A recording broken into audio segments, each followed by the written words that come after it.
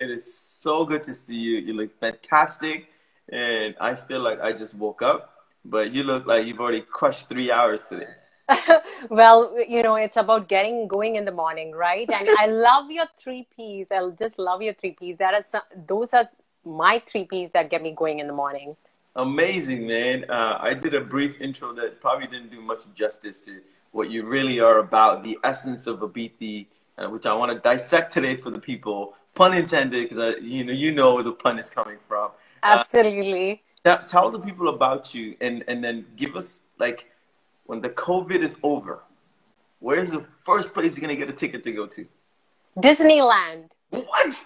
Yes, Disneyland. I love that answer. yeah, I I mean I I have every all of us have a child within us, and I've always been that child within. So yes, Disneyland. But thank you so much for having me here today, and uh, hello to all our viewers watching us wherever you're watching us from.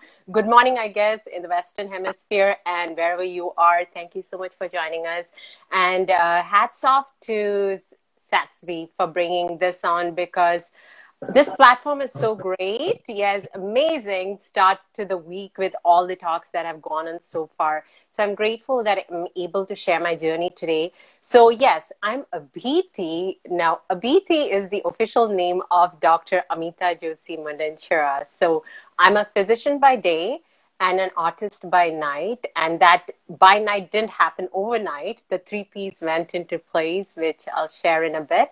But right now, I do a little bit of everything uh, singer, uh, dancer. I'm a TV host, a radio host. Uh, I've begun to write my own songs, so I call myself a writer. And I've also what? done. Yes. Listen, uh, can we just take a quick pause, okay? Yes. Don't get past like three things hey, I'm a this and a this and maybe a this, right? What up, Jay? Uh, Miller, what's up? Gajan, what's up, buddy? Um, thanks for joining us. Navi, what's up? But you're like, like, like you know how people who are academically incredible and they're like, I'm a BS and then I'm a PhD and then I'm an MBA and then I'm a this and a this and a this. When I hear the things that you get involved in, I'm like, whoa, does this girl ever sleep? right? Um, um, but, that's a question. you know, uh, but a little bit about like let's let's go back. Okay, you're, you're studying to be a doctor. Yes. Uh, so. let's, let's, go back. Let's go. Okay, back. I'll go way back, way yeah, back to my childhood. I, I want to deconstruct the path that took us to where we are today. Absolutely. So, growing up in a, as I would say, a typical South Asian conservative family, uh, the focus was on academics. I had a lot of hobbies growing up, which including uh, which included singing, uh, being in the school orchestra. I used to play the keyboard. Uh, I did a little bit of Bharatanatyam. So, I used to have all the hobbies, but those were all hobbies Right. Leave it at hobbies and focus on your academics. And that was fine because I love the sciences. So I started to focus on the academics and put aside all those hobbies. And went through medical school, started doing my full time job, and then came a phase in my life where I went through a really low phase in my life where I was just working, working, working, making money, but there was nothing else. There was nothing mm. else to my life. And that's when I re- decided that mechanical life was not for me. Work home, work home, work home, 24 7 call. And I realized what was missing. I had actually, you know, subdued all my passions within just because I was expected to be that uh, role model, the good doctor, the good daughter, you know, follow everybody else's expectations, but not really listen to myself. So I did go through a phase of depression, which was always on and off through life, but I hit a rock bottom. Mm. And I was sharing that. Yes. Yeah, I hit rock bottom. I was emotionally feeding myself. I became obese. I felt depressed. I kept eating, and it became like a vicious cycle. No, we don't talk about this kind of shit, man. We don't, and I I appreciate the platforms like this that you're doing, uh, my dearest Satsby. That that helps us realize that we are not alone. Like everybody does go through it, but we don't talk about it, and that's the thing. And right, hopefully, the more we talk about it, we don't feel alone, and we don't feel afraid to follow those passions. Because when I hit rock bottom, I decided no, it's time to listen to the inner voice it's okay listen to others around you but don't take but don't take it, you know, to yourself. Uh, there was one major epiphany that happened when my mom had a major health issue and she got bedridden.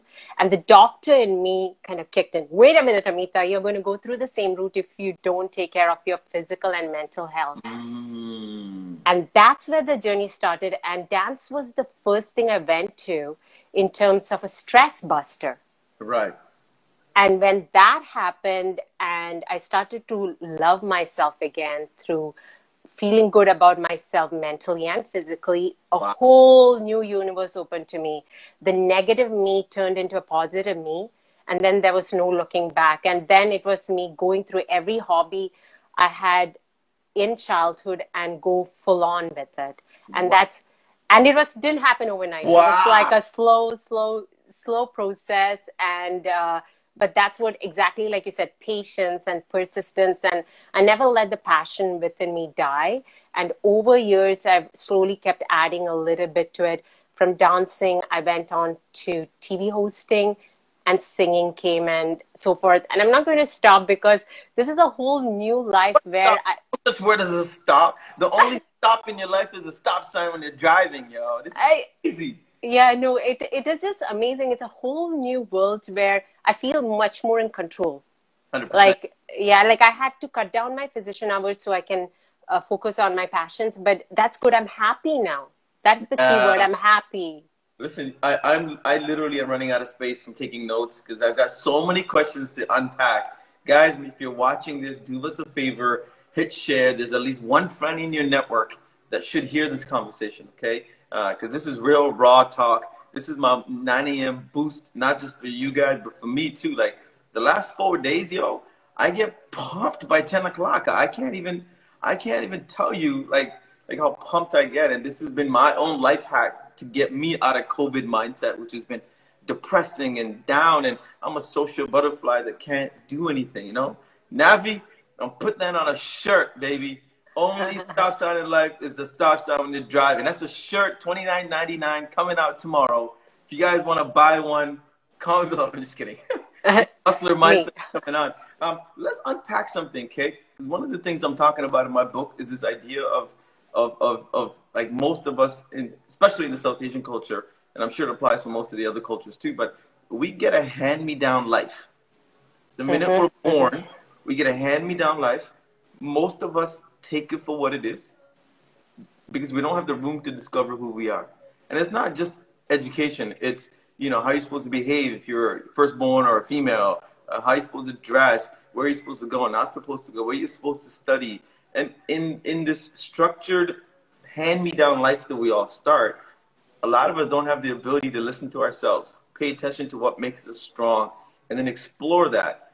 How was your early days? Was being a doctor a, a, a dream that you had? When you look back on it, was it a hand me down that you sort of fulfilled, but then it wasn't your? Walk me through because you're the only like doctor I know, and and and my parents didn't even think I had the chance to be a doctor. I didn't even get that like assumption. They're like, this kid is dumb already. We're not even gonna ask him. You know, hopefully he'll be something in, in like accounting or something. But walk me through the early days of like this idea of a hand me life where did it fit in where it didn't fit in and when did you start listening to like your own thoughts? Thoughts. So uh, actually i wouldn't say it's a hand me down. I will be honest i was not really a good student when i first started. I used to get C's and D's. I used to get C's and D's. Lies. I, I need I, Okay, I'm, I'll have to go all the way back to Qatar, Qatar, and ask my teachers to give me the report. But that's the truth. My mom is actually a housewife, uh, and uh, when I first struggled through my early days of education, she actually put in a lot of effort to help me through a process of how I can be disciplined with and organized. And even that took time for me. I was not uh, like just automatically smart. I actually had to work hard to learn a process of education. So, did you have any hacks back then? Because I had some hacks on like how to like because my brain doesn't remember uh, like anything that is written. Uh, in a way, I'm kind of like Trump. I need to. I, I just said it. Damn. oh. Take it back, guys. Delete it. Uh, in some ways, how Trump absorbs content is sort of how I do it. Uh, I'm a visual thinker. I'm a, I'm, a, I'm a talker more than a writer, which is why this damn book has been two years of the journey. Uh, but any hacks that you came up with to help your brain like play nice with you? So I, I'm also a visual person, and I also use uh, the uh, analytics of relationship. Like, so if I'm studying about something, I try to relate it to real life, and that kind of visually stays better with me. Mm. So and so I'm I am in terms of the skills for me memorization is the best. So Okay. I found like that's why probably I like the sciences a lot because there's a lot of theory which you can then apply and that's where I would do by association keep things in mind. I was not as good at uh, physics and mathematics. My dad was an engineer so for a while it was like okay Oh. uh, do you want to be a uh, so, oh, yeah okay That cool was fine. It's like it's like what they handed out in the seventies. You know, hey, you're a boy. You can study. Here's an engineering degree. Go. You know, find a housewife. Like it was like the same formula. yeah, it was the same formula. So it, he wanted actually me to be a, a an engineer and an IAS officer. Oh gosh. Uh, yeah, IAS. I'm like, I'm not going that route. But then uh, when he's when they realized, okay, I have some strength in the sciences. Yes, they did push me to become a doctor, but that was also partly me because I enjoyed the sciences. But one thing, if I had to go back, what I would change is I would have tackled both uh, the education and the arts at the same time, which is what didn't happen because.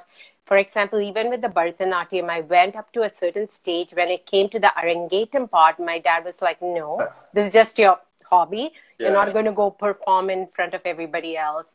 Uh, even for uh, the being a keyboardist in the school orchestra, that's how far it would go. If I wanted to go to an outside band or something, no, that's it. Within school limits, do whatever you have to, but then beyond that, it's a no. So, Can I say so as a quick yes. Okay, because I know you for the last five, five, six years, and the version of you that I know is a BT, right? The the person I met was a TV host and then a performer. Then I've seen you on stage at Desi Fest and the shows you do and the and the content that you create where you dance and you fuse music. And the thing you said that was the most, you know, sort of interesting and completely counter to who you were at that age is like you get to have a passion, but you can't get to share it with the world. You can't perform. And for me, it's it, as I hear you, you know, things that I don't remember about my own life comes back. But for the for the first, I would say, twelve years of my life, my dad will constantly remind me to shut the fuck up. He'd be like, "You talk too much. Everywhere we take you, you blah blah blah." And and from like age, I would say four to at least thirteen, the first day of school, the first day of school, every single day he'd be like, "Sathish, go to school. Don't make any friends. Don't become an ass. Don't talk. Don't open your mouth. Come home." And I'm the complete opposite. What do I do today? I talk for a living. What do you do today? You perform. Like Absolutely. crazy that when we dissect the things that we were naturally good at, that were muted, that are now today what people know us for. Absolutely. And that only happened when I guess even you, me, started listening to ourselves because when uh, when I was growing up, I was muting myself. I was li- listening to everybody else, but muting myself. But there's only so much our mind, our body can take. Like you know, there, it's like a volcano waiting to explode. And that eventually happened for me. Like, and then I had to listen to myself, and that was such a blessing. One major blessing is coming to Canada. Honestly, for me.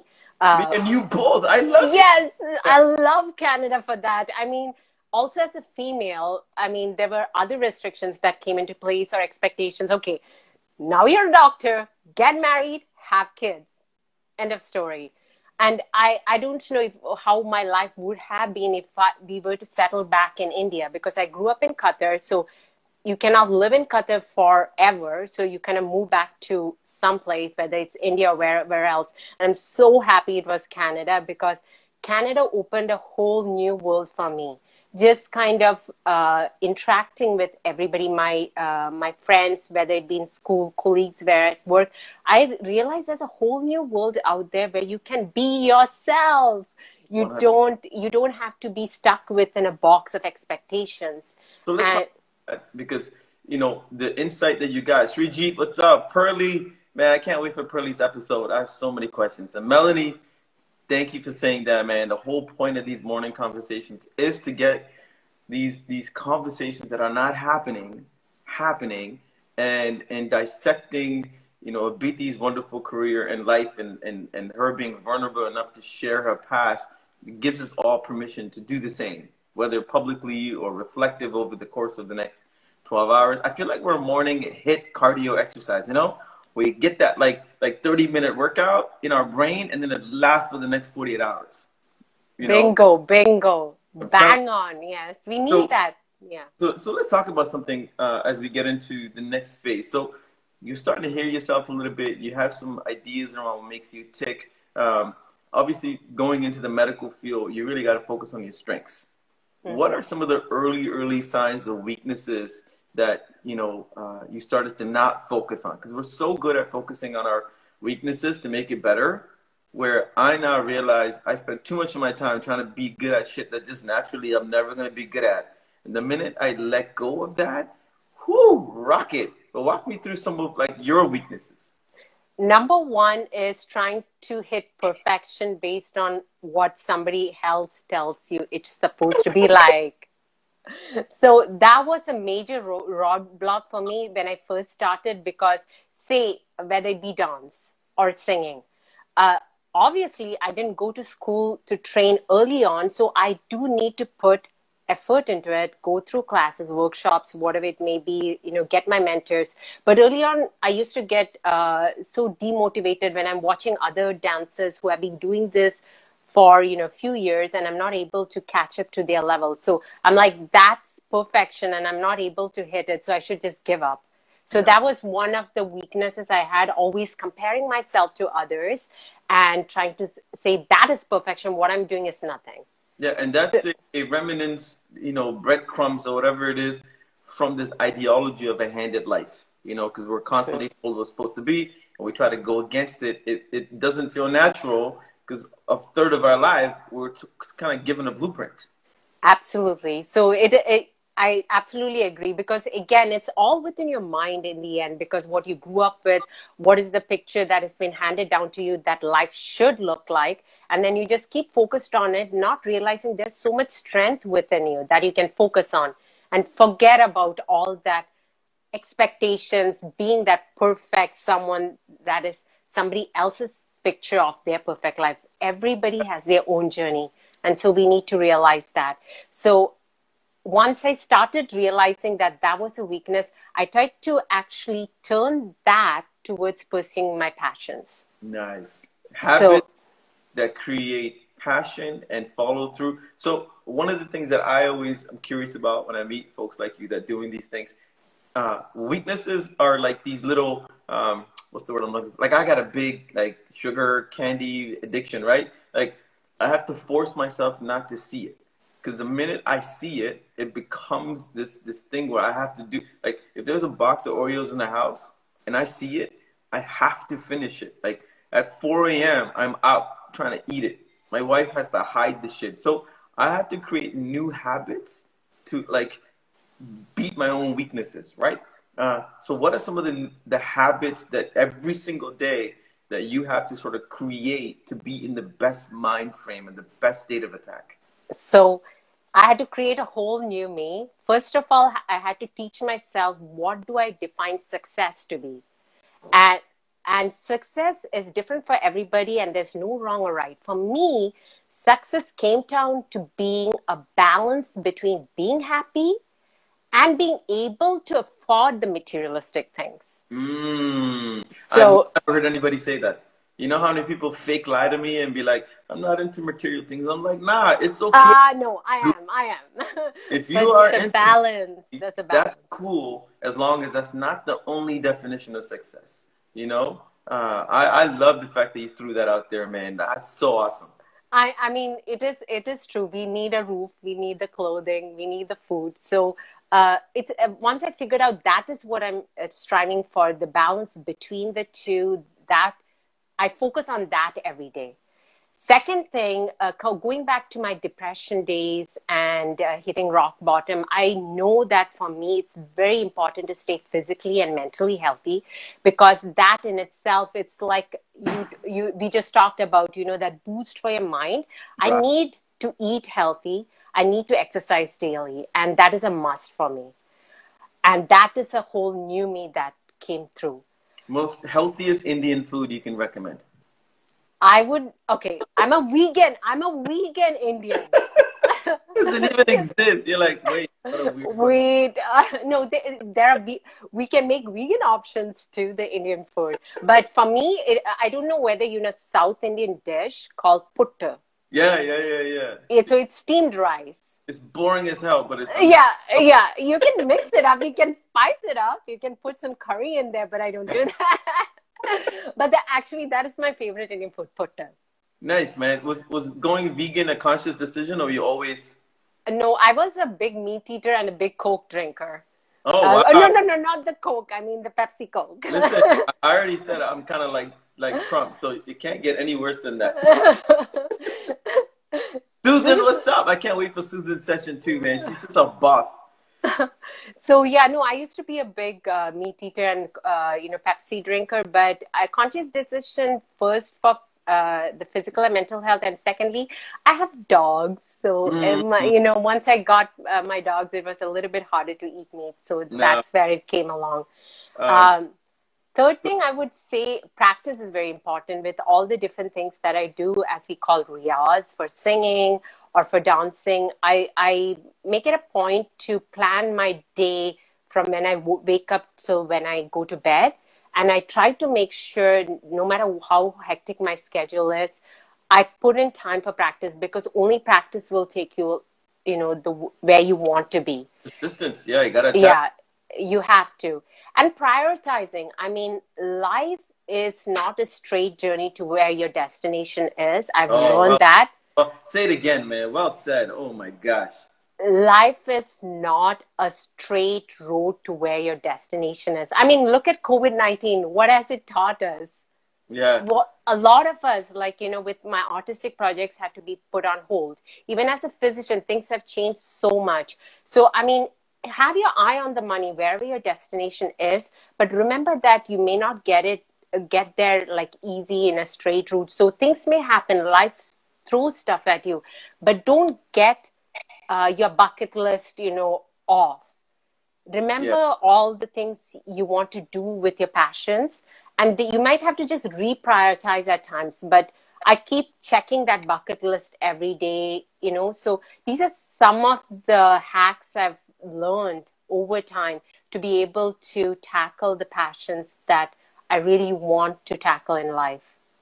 So uh, you're going down the path so nicely uh, we talked about the inner voice. We talked about the passion. So the, the habits allow you to stay focused. It's like it's like our guiding rail, right? When we're sort of off off path, we're like, hey, go. Uh, for me, uh, I find if I'm not obsessive enough, I can't do it. Like this show couldn't have been once a week. If it wasn't daily, it's not gonna happen. I will skip a Friday and then it's over. Just like if Sofa Sessions wasn't every single day, I can't do it, right? Um, and so when I look at like you know the habits that you have, you know, I love the fact that you sort of outlined the crazy wild path, but then routines like eating healthy and staying focused and and, and sort of in that in that guardrails sort of keeps you in that crazy wiggly line, which is awesome. Absolutely. Homie Shaimala was asking because she's a dancer and she's trying to break through the scene uh, give her some wisdom, man, like from your journey. It's a fellow artist that is trying to figure out how to how to break through. Hi, Shamala. So nice to have you with us. Absolutely. Uh, I uh, like I was mentioning, I left off Bharatanatyam when I was younger, but after I decided to go back into dance, it was about finding mentors. So you step out of your comfort zone. Don't be afraid to grab an opportunity. So I would look up workshops in the community, dance classes that would fit my style and need and time, and go do it. Don't be afraid. I mean, when I first started in my first dance class, I was at the back of the class, very scared to do even my first move. But you keep going, keep going, and eventually you get to the front of the class, and then maybe one day the instructor notices you, and then you become part of the dance troupe. I mean, so it's going back to even Sathish's piece you know it's about being patient persistent and keep that passion up. So i would definitely ask you to look into dance classes in the community. If you want you know message me i can guide you to some of them and start there and take it from there. That's amazing man um, let's talk about safety net okay uh, yes a lot of us that that have you know sort of these side hustles or transitioning into a passion um, talk about like, oh, my plan A is being a doctor, plan B is like, uh, you know, I'm going to be a dancer or a singer, but it doesn't work out. You know, I still have plan A. Um, and I used to say that too. You know, I've got a computer science degree. I'm going to do a startup. And then if it all fails, I got a degree. But that actually hurt me for most of my life because the plan A never really allowed me to move into plan B.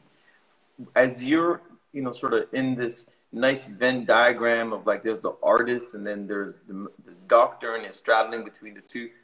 Talk to me about safety net and a plan B and is there even one? And and anybody that's in that mode, you know, what do you say to them? So uh, honestly, that mentality of a safety net, just like you said, is harmful. Just uh, as for anything that you do, I I feel because then you kind of get into that lazy mode and think, okay, maybe if I don't succeed in this, I have this fallback on, and then you don't put your 100% into plan B. So for me, it's about tackling everything that I'm passionate about 100%. And like you said, it's a marathon, not a race. Yeah. So it's, for me, it's about being the physician, being the artist, but learning to know my boundaries in terms of how much effort and time I put into both, but not saying, okay, maybe if I'm not a doctor, I can be an artist, or maybe if I'm not an artist, I can be a doctor. For me, it's about being able to put 100% into whatever I want to tackle. That's so that's so, and I find like only if you set that mindset, others are going to respect you.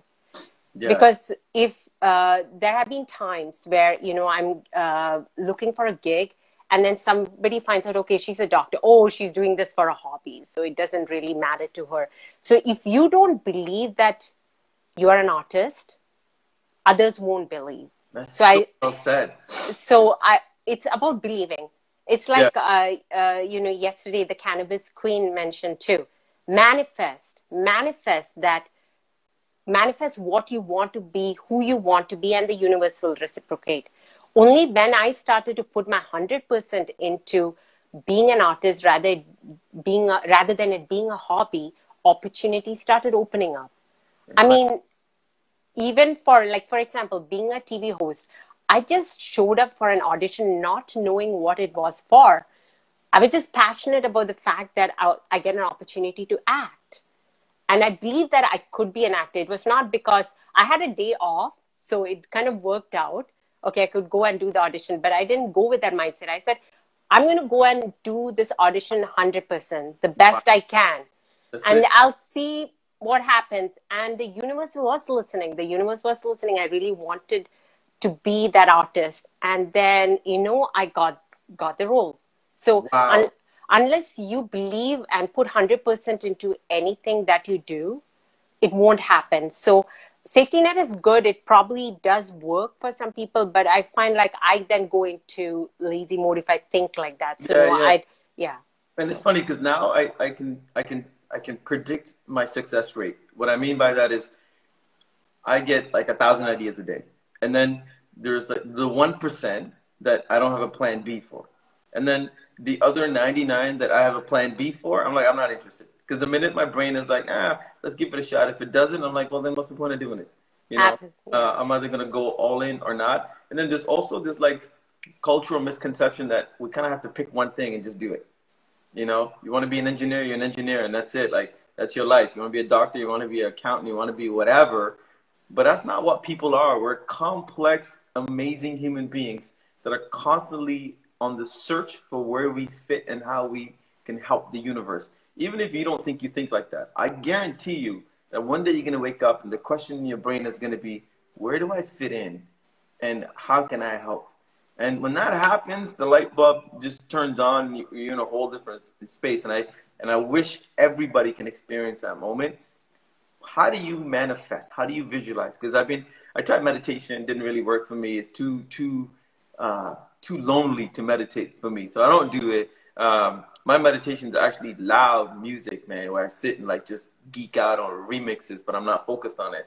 But uh, for me to to manifest anything, I need to emotionally believe in it, which means I gotta see it. So then I go looking for pictures. I have a Pinterest board. I put like stuff together of the people I want to meet, the things I want to own, the places I want to live.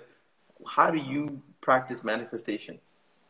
You're very similar to what I do. So that's uh, I'm also a visual person. So it's about uh, if I have a project or if uh, my goal to be that fusion artist, as I call the triple thread, the singer, actor, dancer, I constantly uh, visualize uh, projects done by my inspirational role models, read their stories, and get inspired by them. That's one thing. That's amazing. Second, second thing uh, for me is spirituality. I don't know; it, it's different for different people. Some call it the inner voice, some call it religion. I call it spirituality. And uh, this may not resonate with you, like you said, but it's similar to meditation. It's not exactly meditation, but maybe talking to myself, you know, talking to myself, talking through what I, being grateful for what I have. Again, exactly. going back, I have the basic needs. I have my physical health. I have my mental health. So what is stopping me? So I do that pep talk for myself, which is connecting with my spirituality because I find that gives me signs from the universe. And I kind of connect very well with that. The more I'm connecting with my inner self, I'm finding signs within the universe that's guiding me the right way and helping me on days where I have those low days. I mean, not every day is perfect. There are some days, you know, you wake up feeling like shit yeah. But but again, going through those routines we talked about help me. Spirituality helps me. Reading and following my inspirational role models who are on a similar track where I want to be, that helps me. That's amazing. Uh, let's take a quick life pause and we look at Melanie's question, which is incredible. What advice do you have for artists that are holding back because they have a family or children to care for? I, I'll tell you my two cents after, our, uh, you know, Biti, you, you share your thoughts first. Absolutely. I totally hear that. I mean, uh, with family, there are priorities to be set. So I would say, yes, it might be all about the timeline, but don't let go of your passions. So this is coming back to prioritization. So you know what your passions are, what you want to tackle in life, but maybe right now, you are prioritizing with the health of your family, being able to uh, give a better life to your children. But remember, once they are able to become independent, you are able to follow your passions. And that may even be now. Discuss it with your family. And hopefully, your husband or wife is supportive of the passions that you want to follow. And they will help you. I've had, I have many mentors in my life who are married with families but still pursuing their passions because they have voiced what they want to do in their life to their partners, to their children, and surprise, surprise, their family is supportive. Yeah. They're very supportive. So be honest with yourself first. Be honest with yourself, true to yourself, what you want to do in life, and then voice it. I mean, your partners are in life, your children are in life because they are your family and they will be supportive. For the few, I know there are few, I mean, including myself, where family may not be supportive, but that is okay. That's where friends come in, your yeah. colleagues come in. Let go of the toxic relations. There are many toxic relations. It's okay. Everybody has their own story. Don't judge them for it. Just let go of those, but embrace the positiveness. So well said. And I'm going to add a tiny bit more to it from somebody who's got you know, wife and two kids and, and a bunch of businesses, what I realized is the more pressure I put myself to be an external artist versus internal, it was easier for me to understand. Like, I don't have any desire to go and get a nightclub gig or a DJing gig, even though I can call a bunch of friends and I can get a residency somewhere tomorrow. I don't want to. But what I want to do is just play music. And so I've realized that you know, time is a is a weird formula, right? Like just like money, there's always a lot of it. We just don't know where to find it. And so I started to say, okay, I need just 20 minutes a day to be my own artist. It's not to broadcast. It's not to go live. It's not to share. It's not to get a DJ. I have an artist side of me that needs an outlet. So instead of trying to figure out how to get 20 minutes, I found habits that I can get rid of. So instead of sitting in front of TV and having Netflix as I'm working, which will, which I realized made everything take longer to work because I'm watching and working. I just work for 20 minutes. Now I got 20 minutes free. I don't watch Netflix. I go DJ, right? Um, I can't DJ during the day or afternoon because I'm spending time with the family. So I learned how to DJ in a quiet room with just headphones on when everybody's sleeping at 3 a.m. Nobody cares. I get 20 minutes. I go DJ. So you got to find the time to invest in yourself by removing things that are not enabling you to live that true moment. So I hope that answers Melanie. Um, one last question for you. Let's talk about money because this is making money moves. Um, most of us are handed such a shitty emotional baggage when it comes to money. Um, talk to us about your relationship with money. How has that changed? And as you look at the future of Abiti and Amitha and all the things you want to work on, how does the emotional relationship money impact any of those things?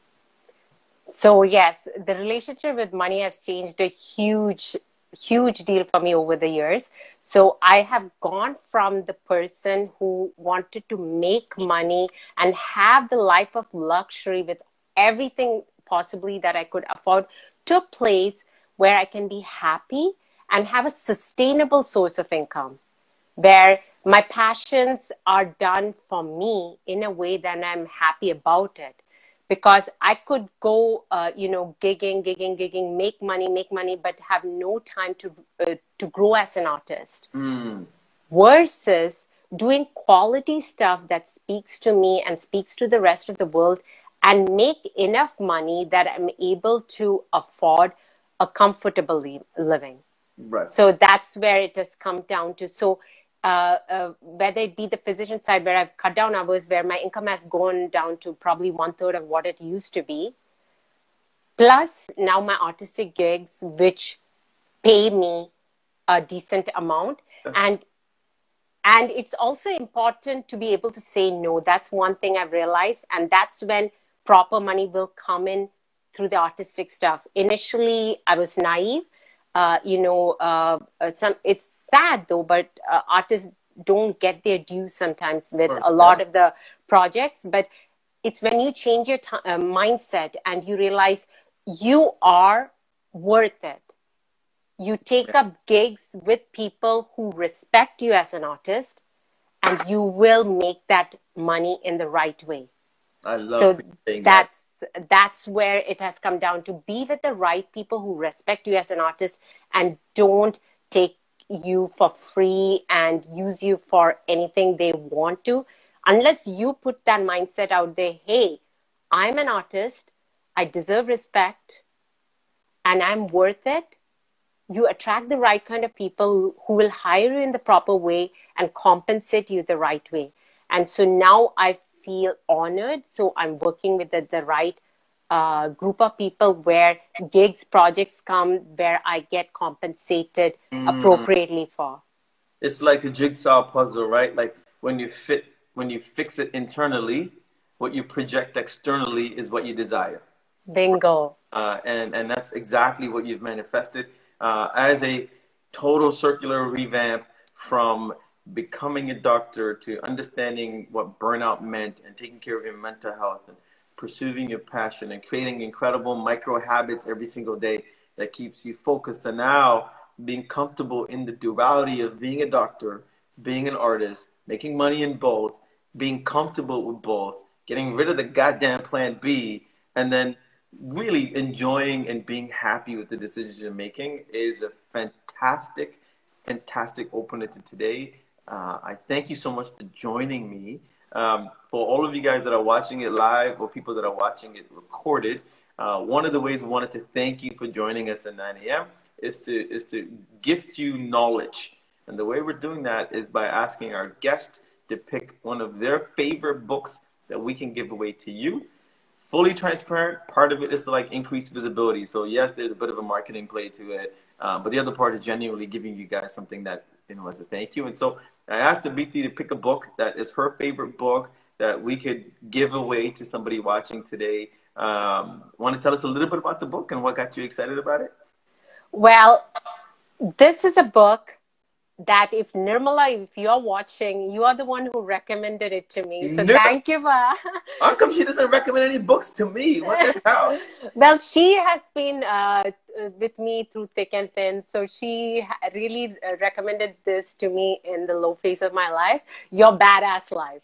Awesome. So I would suggest everybody go tre- uh, read it because you will f- learn to love yourself reading uh, reading this Amazing. book. So Amazing. We're going to put the link to the book from Amazon in the description if you want to buy it. We're also going to give a copy away. But all you got to do for me is comment below in the next 48 hours uh, something that you took away from today's talk that resonated, no matter what it is. It could be as simple as, Sathish, I can't believe you said you're like Trump. That's cool. I'll take. But comment below and we will pick a, a person uh, and send you the book as a thank you. And if there's a friend you can tag and help us grow this morning conversation, I would totally love it. Yesterday, over 180 people watched the content, which for me was mind blowing because like this little idea now has is starting to build momentum.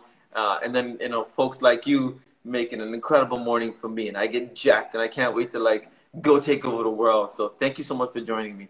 Thank you so much. And I'm jacked up too because I just love every platform that you put out. Satsby, Sathish, you know, homie, I mean, we have uh, known each other for a long time, but I'm so grateful for every platform that you provide. You're one person I love to work with because you respect those who work with you. So hats off to you and thank Video, you. there's a music video where we're going to be dancing. It's going to come out. Why not? We're going to figure it Absolutely. you know but thank you have a great day uh, i will message you after to say what's up but thank you like being so transparent and vulnerable and all the things that we need to talk about uh, needs to be said and i think uh, that's what this is about. So uh, we'll, we'll keep chatting. I'll see you soon. Thank you. thank you